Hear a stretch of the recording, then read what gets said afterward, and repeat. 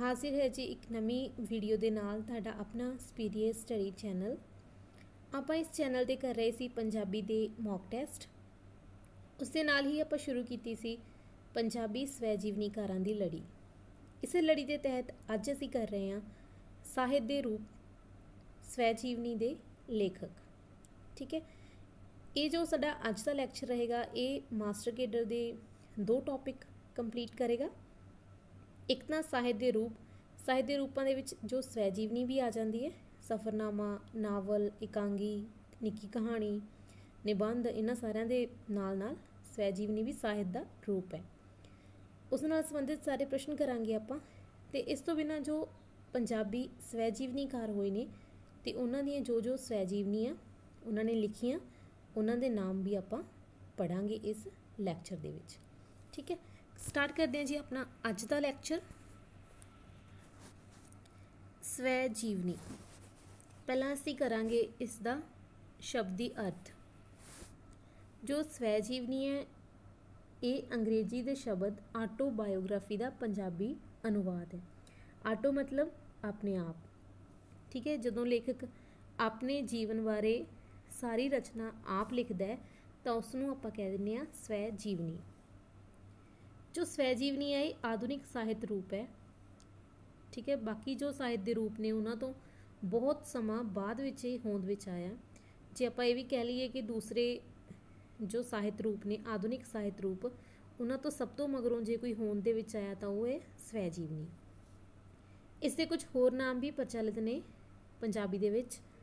ਜਿੱਦਾਂ ਨਿੱਜੀ ਜੀਵਨ ਦਾ ਬਿਉਰਾ ਸਵੈ ਪ੍ਰਕਾਸ਼ ਦਾ ਸਾਹਿਤ ਮਨੁੱਖ ਦੀ ਛਤਰ ਛਾਇਆ।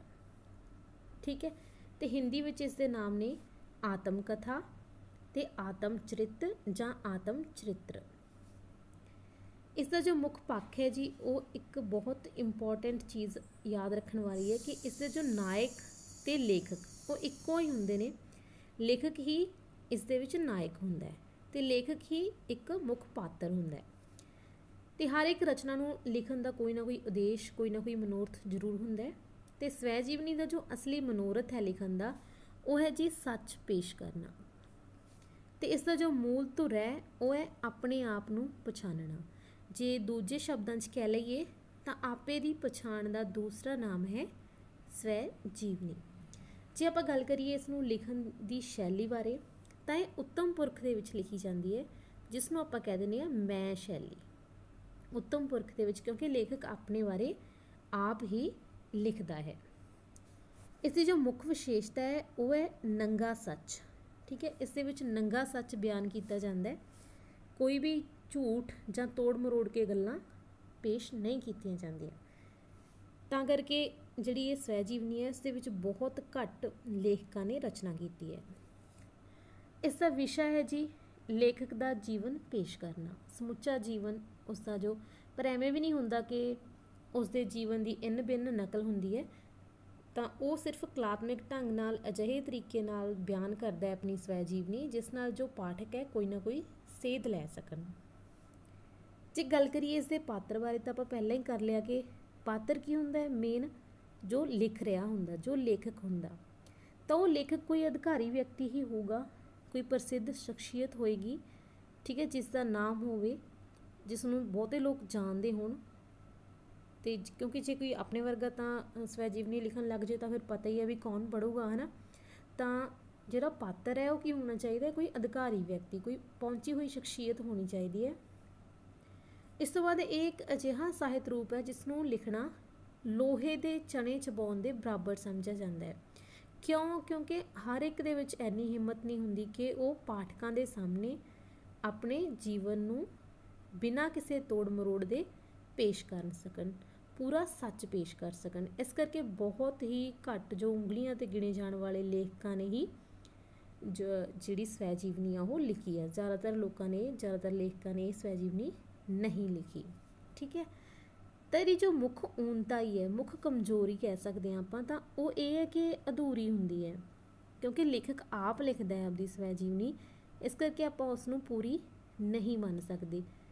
ਜਦੋਂ ਇਸ ਦਾ ਅੰਤ ਕਰਦਾ ਹੈ ਤਾਂ ਉਸ ਤੋਂ ਬਾਅਦ ਵਾਲਾ ਜੋ ਉਸ ਦਾ ਜੀਵਨ ਹੁੰਦਾ ਹੈ, ਉਹ ਬਿਨਾਂ ਬਿਆਨ ਕੀਤਿਆਂ ਹੀ ਰਹਿ ਜਾਂਦਾ ਹੈ। ਅੱਗੇ ਜੇ ਆਪਾਂ ਗੱਲ ਕਰੀਏ ਸਵੈ ਜੀਵਨੀ ਮੂਲਕ ਪਹਿਲੀ ਰਚਨਾ ਦੀ, ਤਾਂ ਇਹ ਮੰਨੀ ਜਾਂਦੀ ਹੈ ਬਚਿੱਤਰ ਨਾਟਕ। ਪਰ ਇਸ ਨੂੰ ਆਪਾਂ ਸੰਪੂਰਨ ਰੂਪ ਦੇ ਵਿੱਚ ਸਵੈ ਜੀਵਨੀ ਨਹੀਂ ਮੰਨ ਸਕਦੇ, ਇਹ ਸਿਰਫ ਸਵੈ ਜੀਵਨੀ ਮੂਲਕ ਹੈ। ਉਸੇ ਤਰੀਕੇ ਨਾਲ ਲਿਖੀ ਗਈ ਹੈ, ਪਰ ਇਹ ਕਾਵ ਦੇ ਜ਼ਿਆਦਾ ਨੇੜੇ ਹੈ। ਗੁਰੂ ਗੋਬਿੰਦ ਸਿੰਘ ਜੀ ਦੀ ਰਚਨਾ ਬਚਿੱਤਰ ਨਾਟਕ। ਅੱਗੇ ਜੋ ਅੰਮ੍ਰਿਤਾ ਪ੍ਰੀਤਮ ਹੈ, ਉਹ ਸਵੈ ਜੀਵਨੀ ਨੂੰ ਆਖਦੀ ਹੈ, ਯਥਾਰਥ ਤੋਂ ਯਥਾਰਥਵਾਦ ਦਾ ਸਫ਼ਰ ਜਾਂ ਫਿਰ ਅਮਲ। ਠੀਕ ਹੈ, ਕਈ ਵਾਰ ਇੱਕ ਪ੍ਰਸ਼ਨ ਪੁੱਛਿਆ ਗਿਆ ਕਿ ਯਥਾਰਥ ਤੋਂ ਯਥਾਰਥਵਾਦ ਦਾ ਸਫ਼ਰ ਸਵੈ ਜੀਵਨੀ ਨੂੰ ਕਿਸ ਨੇ ਆਖਿਆ ਹੈ? ਤਾਂ ਇਹ ਆਖਿਆ ਜੀ ਅੰਮ੍ਰਿਤਾ ਪ੍ਰੀਤਮ ਨੇ। ਤੇ ਹੁਣ ਜੇ ਗੱਲ ਕਰੀਏ ਆਪਾਂ ਪਹਿਲੀ ਪੰਜਾਬੀ ਸਵੈ ਜੀਵਨੀ ਦੀ, ਤਾਂ ਜੋ ਪ੍ਰਮਾਣਿਕ ਰੂਪ ਦੇ ਵਿੱਚ ਪਹਿਲੀ ਪੰਜਾਬੀ ਦੀ ਸਵੈ ਜੀਵਨੀ ਮੰਨੀ ਜਾਂਦੀ ਹੈ ਉਹ ਮੰਨੀ ਜਾਂਦੀ ਹੈ ਆਰਸੀ 1958 ਦੇ ਵਿੱਚ ਇਹ ਪ੍ਰਕਾਸ਼ਿਤ ਹੋਈ ਸੀ। ਪ੍ਰਿੰਸੀਪਲ ਤੇਜਾ ਸਿੰਘ ਦੁਆਰਾ ਲਿਖੀ ਗਈ ਸਵੈ ਜੀਵਨੀ ਆਰਸੀ ਪੰਜਾਬੀ ਦੀ ਪਹਿਲੀ ਪ੍ਰਮਾਣਿਕ ਸਵੈ ਜੀਵਨੀ ਹੈ। ਇਸ ਦੇ ਨਾਲ ਹੀ ਵਰਣਨਯੋਗ ਹੈ ਕਿ ਜੋ ਇਸ ਤੋਂ ਵੀ ਪਹਿਲਾਂ ਸਵੈ ਜੀਵਨੀ ਮੰਨੀ ਜਾਂਦੀ ਹੈ ਲਿਖੀ ਹੋਈ, ਉਹ ਹੈ ਬਾਬਾ ਗੁਰਦਿੱਤ ਸਿੰਘ ਕੈਨੇਡੀਅਨ ਦੀ ਸਵੈ ਜੀਵਨੀ ਮੇਰੀ ਆਪ ਬੀਤੀ। ਇਸ ਦੇ ਵਿੱਚ ਉਹਨਾਂ ਨੇ ਜੋ ਕਾਮਾਗਾਟਾ ਮਾਰੂ ਜਹਾਜ਼ ਸੀ, ਉਸ ਦੇ ਨਾਲ ਸੰਬੰਧਿਤ ਜੋ ਦੁਖਾਂਤ ਸੀ, ਉਹਦੇ ਨਾਲ ਕਈ ਕੜੀਆਂ ਪੇਸ਼ ਕੀਤੀਆਂ ਸੀ, ਜਿਸ ਕਰਕੇ ਜ਼ਬਤ ਕਰ ਲਈ ਗਈ ਤੇ ਹੁਣ ਇਹ ਉਪਲਬਧ ਨਹੀਂ ਆ। ਇਸ ਕਰਕੇ ਜੋ ਪਹਿਲੀ ਪੰਜਾਬੀ ਸਵੈ ਜੀਵਨੀ ਮੰਨੀ ਜਾਂਦੀ ਹੈ, ਉਹ ਹੈ ਆਰਸੀ। ਠੀਕ ਹੈ ਜੀ? ਨਾਲ ਹੀ ਇਸ ਦੀ ਆਪਾਂ ਗੱਲ ਕਰਾਂਗੇ ਪਹਿਲੀ ਔਰਤ ਸਵੈ ਜੀਵਨੀ ਲੇਖਿਕਾ। ਕਿਸ ਨੇ ਪਹਿਲੀ ਵਾਰ ਸਵੈ ਜੀਵਨੀ ਲਿਖੀ? ਔਰਤਾਂ ਦੇ ਵਿੱਚੋਂ। ਤਾਂ ਉਹ ਸੀ ਜੀ ਅੰਮ੍ਰਿਤਾ ਪ੍ਰੀਤਮ। ਇਹਨਾਂ ਦੀ ਸਵੈ ਜੀਵਨੀ ਰਸੀਦੀ ਟਿਕਟ ਪ੍ਰਕਾਸ਼ਿਤ ਹੋਈ ਸੀ 1977 ਦੇ ਵਿੱਚ। ਠੀਕ ਹੈ? ਤੇ ਨਾਲ ਹੀ ਮੰਨਿਆ ਜਾਂਦਾ ਹੈ ਕਿ ਜੋ ਕਾਲਾ ਗੁਲਾਬ ਪੁਸਤਕ ਹੈ ਇਹਨਾਂ ਦੀ ਉਸ ਨੂੰ ਵੀ ਸਵੈ ਜੀਵਨੀ ਮੰਨਿਆ ਜਾਂਦਾ ਹੈ, ਪਰ ਉਹ ਸਵੈ ਜੀਵਨੀ ਸੰਪੂਰਨ ਨਹੀਂ ਹੈ। ਉਸ ਦੇ ਵਿੱਚ ਕੁਝ ਕੁ ਸਵੈ ਜੀਵਨੀ ਅੰਸ਼ ਤਾਂ ਨੇ, ਪਰ ਇਹਨੂੰ ਆਪਾਂ ਸੰਪੂਰਨ ਸਵੈ ਜੀਵਨੀ ਨਹੀਂ ਕਹਿ ਸਕਦੇ। ਅੱਗੇ ਆਪਾਂ ਗੱਲ ਕਰਾਂਗੇ ਸਵੈ ਜੀਵਨੀ ਦੇ ਤੱਤਾਂ ਬਾਰੇ। ਤਾਂ ਇਸ ਨੂੰ ਤਿੰਨ ਤੱਤਾਂ ਦੀ ਤਰਵੇਣੀ ਕਿਹਾ ਗਿਆ।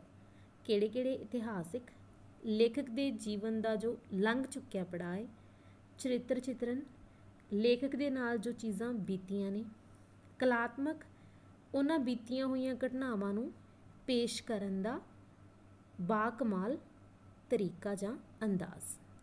ਠੀਕ ਹੈ? ਇਹ ਨੇ ਤਿੰਨ ਤੱਤਾਂ ਦੀ ਤਰਵੇਣੀ ਸਵੈ ਜੀਵਨੀ। ਅੱਗੇ ਜੀ, ਸਵੈ ਜੀਵਨੀ ਸ਼ਾਸਤਰ। ਠੀਕ ਹੈ, ਜੋ ਸਵੈ ਜੀਵਨੀ ਸ਼ਾਸਤਰ ਹੈ ਉਸ ਦਾ ਲੇਖਕ ਹੈ ਡਾਕਟਰ ਧਰਮਚੰਦ ਵਾਤਿਸ਼। ਇਸ ਦੇ ਵਿੱਚ ਇਹਨਾਂ ਨੇ ਤਿੰਨ ਤੱਤ ਦਿੱਤੇ ਨੇ ਸਵੈ ਜੀਵਨੀ ਦੇ, ਸ਼ਖਸੀਅਤ, ਇਤਿਹਾਸਿਕ, ਸਾਹਿਤਿਕ ਤੱਤ। ਠੀਕ ਹੈ, ਸ਼ਖਸੀਅਤ ਦੇ ਵਿੱਚ ਜੋ ਲੇਖਕ ਹੈ, ਉਹ ਆ ਗਿਆ। ਇਤਿਹਾਸਿਕ ਦੇ ਵਿੱਚ ਉਸ ਦੀ ਜੋ ਜ਼ਿੰਦਗੀ ਹੈ ਲੰਘ ਚੁੱਕੀ, ਉਹ ਆ ਗਈ। ਸਾਹਿਤਿਕ ਤੱਤ ਦੇ ਵਿੱਚ ਕੀ ਆ ਗਿਆ ਕਿ ਉਹ ਕਿਸ ਤਰੀਕੇ ਨਾਲ, ਕਿਸ ਅੰਦਾਜ਼ ਨਾਲ ਉਸ ਨੂੰ ਪੇਸ਼ ਕਰ ਰਿਹਾ। ਅੱਗੇ ਆਪਾਂ ਪਹਿਲਾਂ ਡਿਸਕਸ ਕਰ ਹੀ ਲਿਆ। ਸਵੈ ਜੀਵਨੀ ਅੰਸ਼ ਕੀ ਹੁੰਦਾ ਸਵੈ ਜੀਵਨੀ ਦੇ ਕਿਸੇ ਭਾਗ ਨੂੰ ਪੇਸ਼ ਕਰਨਾ। ਠੀਕ ਹੈ, ਜਿੱਦਾਂ ਆਪਾਂ ਪੜਿਆ ਪਹਿਲਾਂ ਛੋਟੇ ਹੁੰਦੇ ਨੇ ਤਖਤ ਜਾਂ ਤਖਤਾ। ਠੀਕ ਹੈ ਸਵੈ ਜੀਵਨੀ ਅੰਸ਼ ਸੀਗਾ ਇਹ। ਇਸ ਤੋਂ ਬਾਅਦ ਆਪਾਂ ਕੁਝ ਕੁ ਸਵੈ ਜੀਵਨੀਆਂ ਕਰਾਂਗੇ। ਸਿਰਫ ਉਹਨਾਂ ਦੇ ਨਾਮ ਪੜਾਂਗੇ ਤੇ ਉਹ ਕਿਸ ਨੇ ਲਿਖੀ ਹੈ ਇਹ ਕਰਾਂਗੇ, ਠੀਕ ਹੈ? ਤਾਂ ਸ਼ੁਰੂ ਕਰਦੇ ਹਾਂ ਰੂਸੋ ਤੋਂ। ਰੂਸੋ ਦੀ ਸਵੈ ਜੀਵਨੀ ਹੈ my confessions. Mahatma Gandhi, my experiments with the truth. ਮੇਰੀ ਦੁਨੀਆ, ਨਾਨਕ ਸਿੰਘ। ਪਗਡੰਡੀਆਂ ਸਵੈ ਜੀਵਨੀ ਹੈ ਬਚਿੰਤ ਕੌਰ ਦੀ। ਅਜੀਤ ਕੌਰ ਦੀ ਜੋ ਸਵੈ ਜੀਵਨੀ ਹੈ, ਦੋ ਭਾਗਾਂ ਦੇ ਵਿੱਚ ਮਿਲਦੀ ਹੈ, ਖਾਨਾ ਬਦੋਸ਼ ਤੇ ਕੂੜਾ ਕਬਾੜਾ। ਇਸ ਤੋਂ ਬਾਅਦ ਜੀ ਪ੍ਰਭਜੋਤ ਕੌਰ ਦੀ ਸਵੈ ਜੀਵਨੀ ਜੀਣਾ ਵੀ ਇੱਕ ਅਦਾ ਹੈ। ਇਸ ਦੇ ਵੀ ਦੋ ਭਾਗ ਮਿਲਦੇ ਨੇ। ਮੇਰੇ ਪੱਤੇ, ਮੇਰੀ ਖੇਡ, ਮਹਿੰਦਰ ਸਿੰਘ ਜੋਸ਼ੀ ਜੀ ਦੀ। ਮੇਰਾ ਆਪਣਾ ਆਪ, ਅਰਜਨ ਸਿੰਘ ਗੜਗੱਜ ਦੀ। ਮਲੇ ਝਾੜੀਆਂ, ਰਾਮ ਸਰੂਪ ਅਣਖੀ ਦੀ ਸਵੈ ਜੀਵਨੀ ਜੀਵਨ ਸੰਗਰਾਮ, ਸਾਡੇ ਦੇਸ਼ ਭਗਤ ਬਾਬਾ ਸੋਹਣ ਸਿੰਘ ਭਕਨਾ ਜੀ ਦੀ। ਇਸ ਤੋਂ ਬਾਅਦ ਜੋ ਗੁਰਬਖਸ਼ ਸਿੰਘ ਪ੍ਰੀਤਲੜੀ ਦੀ ਸਵੈ ਜੀਵਨੀ ਬਹੁਤ ਜ਼ਿਆਦਾ ਮਹੱਤਵਪੂਰਨ ਹੈ। ਇਸ ਦੇ ਤਿੰਨ ਪਾਰਟ ਮਿਲਦੇ ਨੇ ਸਾਨੂੰ, ਤਿੰਨ ਹਿੱਸਿਆਂ ਦੇ ਵਿੱਚ ਮਿਲਦੀ ਹੈ। ਮੇਰੀ ਜੀਵਨ ਕਹਾਣੀ, ਮੰਜ਼ਿਲ ਦਿਸ ਪਈ ਤੇ ਤੀਸਰਾ ਵੀ ਮੇਰੀ ਜੀਵਨ ਕਹਾਣੀ। ਅੱਗੇ ਜੀ, ਬਲਵੰਤ ਗਾਰਗੀ ਦੀ ਸਵੈ ਜੀਵਨੀ ਦੀ ਗੱਲ ਕਰੀਏ। ਨੰਗੀ ਧੁੱਪ ਸੀ ਇਹਨਾਂ ਦੀ ਸਵੈ ਜੀਵਨੀ ਜਿਸ ਵਿੱਚ ਇਹਨਾਂ ਨੇ ਬਹੁਤ ਹੀ ਖੁੱਲੇ ਤਰੀਕੇ ਨਾਲ ਆਪਣੇ ਜੀਵਨ ਨੂੰ ਪੇਸ਼ ਕੀਤਾ ਹੈ। ਨੰਗੇ ਪੈਰਾਂ ਦਾ ਸਫ਼ਰ, ਡਾਕਟਰ ਦਲੀਪ ਕੌਰ ਟਿਵਾਣਾ, ਇਸ ਦੀ ਬਹੁਤ ਖਾਸ ਵਿਸ਼ੇਸ਼ਤਾ ਹੈ ਕਿ ਇਹਨਾਂ ਨੇ ਬਿਨਾਂ ਕਿਸੇ ਤੋੜ ਮਰੋੜ ਦੇ ਬਹੁਤ ਹੀ ਕਲਾਤਮਕ ਤਰੀਕੇ ਨਾਲ ਆਪਣੀ ਸਵੈ ਜੀਵਨੀ ਪੇਸ਼ ਕੀਤੀ ਹੈ। ਇੱਕ ਇੱਕ ਹੋਰ ਸਵੈ ਜੀਵਨੀ ਮਿਲਦੀ ਹੈ ਇਹਨਾਂ ਦੀ, ਪੀਲੇ ਪੱਤਿਆਂ ਦੀ ਦਾਸਤਾਨ। ਅੱਗੇ ਜੀ ਸਵੈ ਜੀਵਨੀ ਮਿਲਦੀ ਹੈ ਜੋ ਪ੍ਰਿੰਸੀਪਲ ਨਿਰੰਜਨ ਸਿੰਘ ਜੀ ਦੀ ਜੀਵਨ ਵਿਕਾਸ। ਤੇ ਪ੍ਰੋਫੈਸਰ ਜਾਂ ਪ੍ਰਿੰਸੀਪਲ ਸਾਹਿਬ ਸਿੰਘ ਦੀ ਜੋ ਸਵੈ ਜੀਵਨੀ ਹੈ ਉਸ ਦਾ ਨਾਮ ਹੈ ਮੇਰੀ ਜੀਵਨ ਕਹਾਣੀ। ਇਹਦੇ ਵਿੱਚ ਹੁਣ ਤੁਸੀਂ ਉਲਝਣਾ ਨਹੀਂ ਹੈ, ਮੇਰੀ ਜੀਵਨ ਕਹਾਣੀ ਦੇ ਦੋ ਹਿੱਸੇ ਆਪਾਂ ਨੂੰ ਪ੍ਰੀਤ ਲੜੀ ਜੀ ਦੀ ਸਵੈ ਜੀਵਨੀ ਦੇ ਨਾਮ ਦੇ ਵਿੱਚ ਵੀ ਮਿਲਦੇ ਆ। ਤੇ ਮੇਰੀ ਜੀਵਨ ਕਹਾਣੀ ਹੀ ਪ੍ਰਿੰਸੀਪਲ ਸਾਹਿਬ ਸਿੰਘ ਜੀ ਦੀ ਸਵੈ ਜੀਵਨੀ ਵੀ ਹੈ। ਠੀਕ ਹੈ?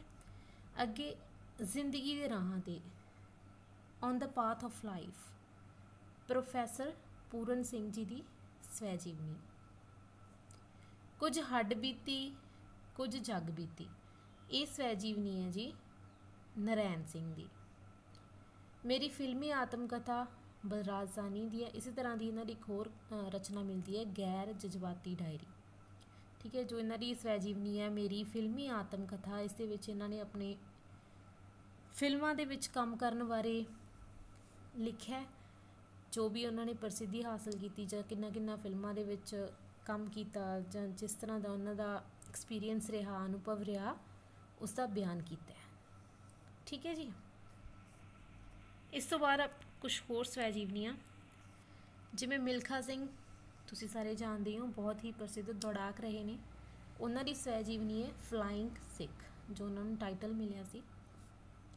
ਸੁਹਿੰਦਰ ਸਿੰਘ ਬੰਜਾਰਾ ਬੇਦੀ ਦੀ ਸਵੈ ਜੀਵਨੀ ਬਾਰੇ ਗੱਲ ਕਰੀਏ ਤਾਂ ਇਹ ਬਹੁਤ ਹੀ ਮਹੱਤਵਪੂਰਨ ਪ੍ਰਸ਼ਨ ਹੈ। ਬਹੁਤ ਵਾਰ ਜੋ ਪੇਪਰ ਨੇ ਉਹਨਾਂ ਦੇ ਵਿੱਚ ਪੁੱਛਿਆ ਗਿਆ ਠੀਕ ਹੈ। ਤਾਂ ਇਸ ਦਾ ਨਾਮ ਹੈ ਜੀ, ਅੱਧੀ ਮਿੱਟੀ, ਅੱਧਾ ਸੋਨਾ। ਮੇਰੇ ਰਾਹਾਂ ਦੇ ਰੰਗ, ਗਲੀਏ ਚਿੱਕੜ ਦੂਰ ਕਰ। ਤਿੰਨ ਹਿੱਸਿਆਂ ਦੇ ਵਿੱਚ ਇਹਨਾਂ ਦੀ ਸਹਿ ਸਾਨੂੰ ਮਿਲਦੀ ਹੈ।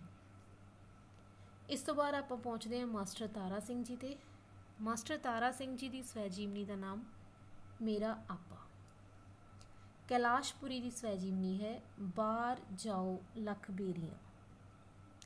ਸੰਤ ਸੰਪੂਰਨ ਸਿੰਘ ਜੀ ਦੀ ਸਵੈ ਜੀਵਨੀ ਹੈ, ਜੀਵਨ ਗਾਥਾ। ਗੁਰਬਚਨ ਸਾਹਿੰਸਰਾ ਦੀ ਸਵੈ ਜੀਵਨੀ ਹੈ, ਉਹ ਵੀ ਦਿਨ ਸਨ। ਪ੍ਰਸਿੱਧ ਨਾਵਲਕਾਰ ਨਿਰੰਜਨ ਤਸਨੀਮ ਜੀ ਦੀ ਸਵੈ ਜੀਵਨੀ ਦਾ ਨਾਮ ਹੈ, ਆਇਨੇ ਦੇ ਰੂਬਰੂ। ਆਹ ਵਾਲਾ ਪ੍ਰਸ਼ਨ ਬਹੁਤ ਮਹੱਤਵਪੂਰਨ ਹੈ। ਡਾਕਟਰ ਜਸਵੰਤ ਸਿੰਘ ਨੇਕੀ ਦੀ ਜੋ ਸਵੈ ਜੀਵਨੀ ਹੈ, ਕੋਈ ਨਾਉ ਨਾ ਜਾਣੇ ਮੇਰਾ। ਇਹ ਜੋ ਸਵੈ ਜੀਵਨੀ ਹੈ ਇਸ ਨੂੰ ਕਵਿਤਾ ਦੇ ਰੂਪ ਵਿੱਚ ਲਿਖਿਆ ਗਿਆ। ਇਸ ਤੋਂ ਬਾਅਦ ਮੈਂ ਤੇ ਮੈਂ, ਇਹ ਰਚਨਾ ਹੈ ਜੀ ਸ਼ਿਵ ਕੁਮਾਰ ਬਟਾਲਵੀ ਦੀ। ਇਸ ਨੂੰ ਆਪਾਂ ਸਵੈ ਜੀਵਨੀ ਤਾਂ ਨਹੀਂ ਕਹਿ ਸਕਦੇ, ਪਰ ਇਹ ਸਵੈ ਜੀਵਨੀ ਮੂਲਕ ਰਚਨਾ ਹੈ, ਠੀਕ ਹੈ? ਇਸ ਤਰ੍ਹਾਂ ਪ੍ਰਤੀਤ ਹੁੰਦੀ ਹੈ ਕਿ ਉਹਨਾਂ ਨੇ ਆਪਣੀ ਸਵੈ ਜੀਵਨੀ ਦੇ ਰੂਪ ਵਿੱਚ ਇਸ ਨੂੰ ਲਿਖਿਆ ਠੀਕ ਹੈ ਪਰ ਇਹ ਸਵੈ ਜੀਵਨੀ ਨਹੀਂ ਹੈ ਠੀਕ ਹੈ ਅੱਗੇ ਜੀ ਬਹੁਤ ਹੀ ਪ੍ਰਸਿੱਧ ਕਹਾਣੀਕਾਰ ਬ੍ਰਿਆਮ ਸਿੰਘ ਸੰਧੂ ਜੀ ਦੀ ਸਵੈ ਜੀਵਨੀ ਦਾ ਨਾਮ ਹੈ ਗੁਫਾ ਵਿਚਲੀ ਉਡਾਨ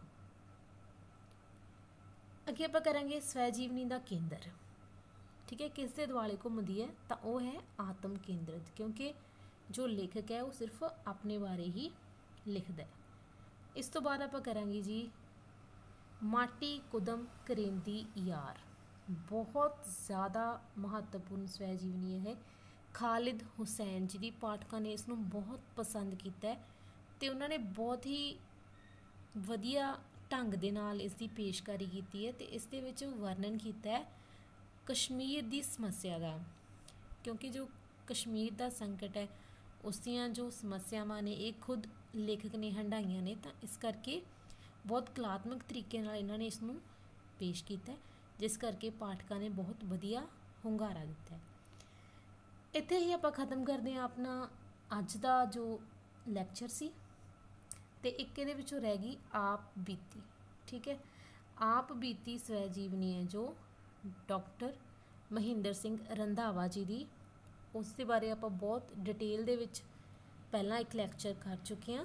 ਜਿਸ ਨੇ ਉਹ ਵੀਡੀਓ ਹਾਲੇ ਤੱਕ ਨਹੀਂ ਦੇਖੀ, ਤਾਂ ਤੁਹਾਨੂੰ ਇਸ ਵੀਡੀਓ ਦੇ ਡਿਸਕ੍ਰਿਪਸ਼ਨ ਬਾਕਸ ਦੇ ਵਿੱਚੋਂ ਉਸ ਦਾ ਲਿੰਕ ਮਿਲ ਜਾਏਗਾ।